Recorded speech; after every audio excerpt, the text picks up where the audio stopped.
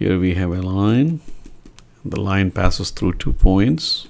Between those points we have delta y and delta x. A line passes through two points 0 3 and 2 5 0 3 and 2 5 when x equals 0 y is equal to 3 and when x equals 2 y is equal to 5 what is the y-intercept?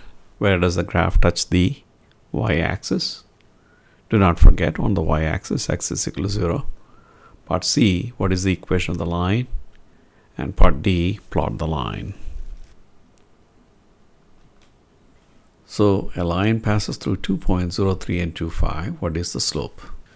We choose x1, y1 and x2, y2 once you have x1, y1, x2, y2, x1, x2, y1, y2.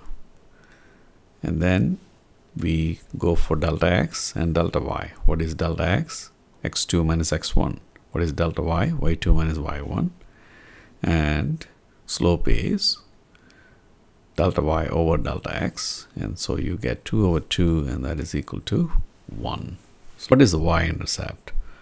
Y-intercept is when the line touch the y-axis when the graph touch the y-axis.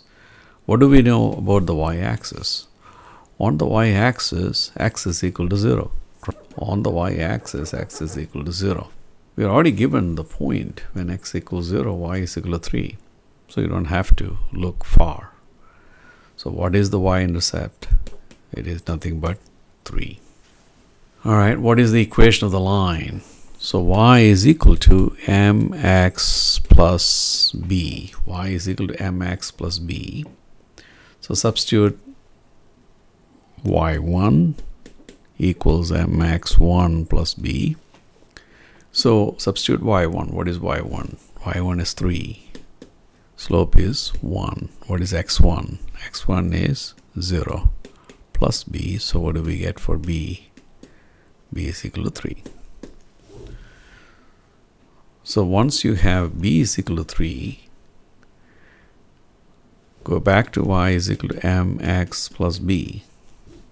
So you get y is equal to 1x plus 3 and so you get y is equal to x plus 3. This is the equation of the line. Alright, now how do we plot the line?